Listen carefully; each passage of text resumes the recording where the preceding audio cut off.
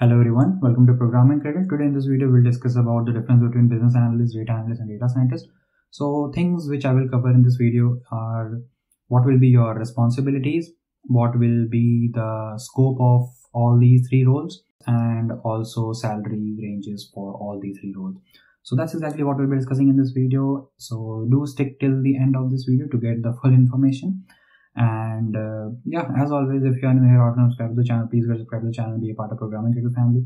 And also hit that bell icon so that you get notified each time a video goes live. And if you end up liking this video please give it a thumbs up. It keeps me motivated to make some videos for you guys. And i also do live stream on saturday 12 p.m british summer time so do join us there as well. And if you want to schedule a one-to-one meeting with me you can join the channel membership and you can do that as well. So with that being said let's start the video so let's first talk about business analyst. Business analyst main role is to make a bridge between stakeholders and your technical team. Technical team could be your data analyst or data scientist team. So you will take a problem statement from your stakeholders, convert it into a technical problem, give it to your data analyst or data scientist team. So that is what a business analyst usually does. So you should be really good with your communication skills and also with presentation skills because after you have the results, you will convert into convert it into a proper presentation and present it to your stakeholders. So that is what you need to be a business analyst. So if you need a dedicated video of each and every skills that you need to be a business analyst or data analyst do let me know in the comment section. I'll be more than happy to make a video on that. If you need a video for uh, data scientist i already have a video on the channel so i will either leave a card or i will leave the link in the description so you can check out that video after this video so now if we talk about the scope of uh, business analyst is most of the smaller companies don't really need a business analyst because they can do everything by just one team because they don't have too much communication gap or they don't really have too much hierarchy. They don't really need a business analyst. But in bigger companies, they do need a business analyst. The scope of business analyst is mainly restricted to bigger companies. Having said that, it's not like smaller companies don't hire business analysts if they really need it they will hire but usually bigger companies tend to look for business analysts rather than a smaller company. So now if we talk about the salary range so a salary can start from 27000 pound and it can go all the way up to 75000 pounds and it averages around uh, 45000 pounds for business analysts. So that is the salary range for business analysts. After that let's now move on to data analyst so the main role of data analyst is to analyze the data, get insights from it and help the business to grow. They don't really focus too much on forecasting like uh, trying to make a predictive model to predict what will be the sales in next year or things like that.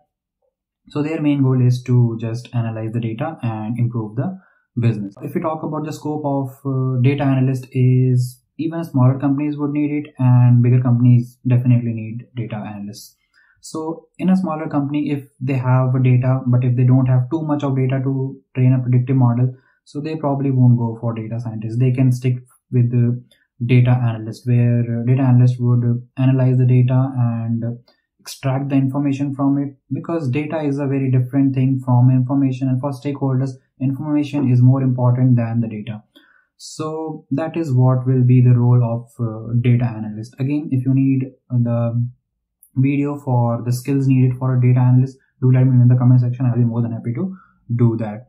So now we will talk about the salary range for uh, data analyst is it ranges from around uh, 24000 pound and it can go all the way up to 60000 pounds and uh, it averages somewhere around 37000 pounds. So that is the salary range for data analyst and like i told you the scope of data analyst is throughout the market. So even smaller business need it even uh, bigger business would need data analyst. Now with that being said let's move on to our uh, next role which is data scientist. So data scientist is actually an umbrella term and it covers data engineer data analyst uh, and also machine learning engineer and also deployment part. So it can be related to ml ops so there are a lot of different skills that you need to be a data scientist and also you need to have good communication skills because you will be interacting quite a lot with your stakeholders and also other team members. If it's a small company then definitely you will be carrying out everything. But if it's a big company you will have to collaborate with other team members and you will have to probably take data from uh, business analyst or at least data engineer and then maybe analyze it and then train your model and then give it to your software engineer team who will deploy it uh, or the team which will be dealing with ML ops. So things like that. Or if it's a small company, then you will be carrying out all these things. So that is essentially what data scientists would do. And if we talk about the scope, almost all type of companies need a data scientist because a data scientist can do a lot of different things. So that's why they are more value to their company at least.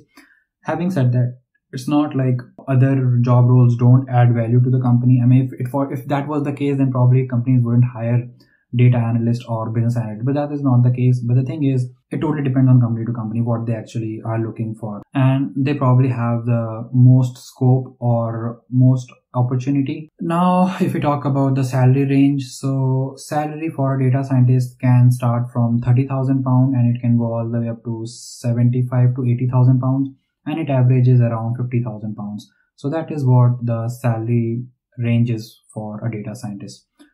So that is what I wanted to discuss in this video. I hope this video gave a little bit of clarity to you. If it did, give it a like. And uh, so yeah, that's what I want to discuss in this video. I hope you found this video helpful. If you did, do subscribe to the channel for more such videos. And if you are into data science, link of the notes will be in the description. You can download that. You can also join our telegram group where we have a lot of different people discussing about a lot of different stuff so it will be a very use very useful stuff for you so yeah with that being said hope to see you in the next video bye happy learning